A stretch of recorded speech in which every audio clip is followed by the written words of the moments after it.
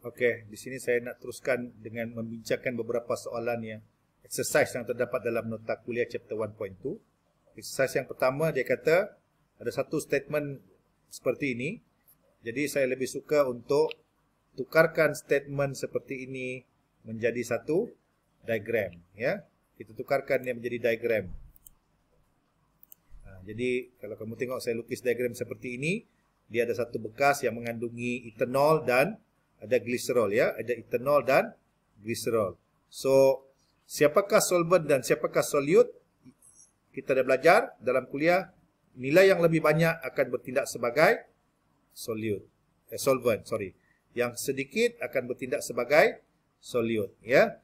Ha, jadi nilai yang lebih sedikit ni 8.89 gram ni dia akan jadi solute yang banyak ni adalah solvent. Ataupun kalau satu lagi adalah air kan. Air dia juga akan otomatik sebagai solvent ya. Tapi dalam kes ni tak ada air lah, dia bukan air, dia antara glycerol dengan ethanol ya.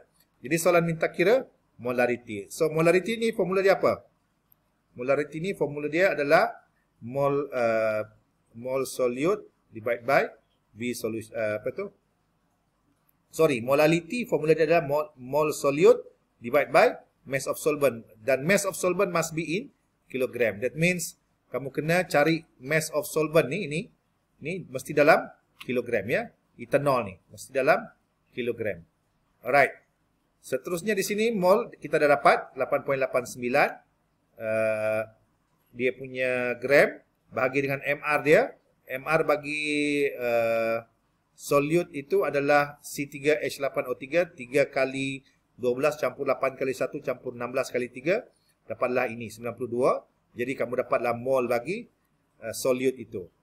Mass solvent 75 gram. Okey, 75 gram tapi mesti ditukar menjadi kilogram dengan bahagi dengan 1000 ya. Uh, kerana formula dia mesti dalam kilogram. Jadi kamu masukkan dalam formula itu menjadi sini adalah mol per kg ya. Uh, jadi dapatlah unit. Unit ini mesti mesti ada dalam final exam ya.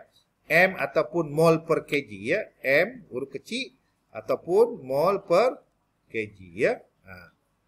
Jadi uh, ini cara penyelesaian untuk soalan exercise yang pertama.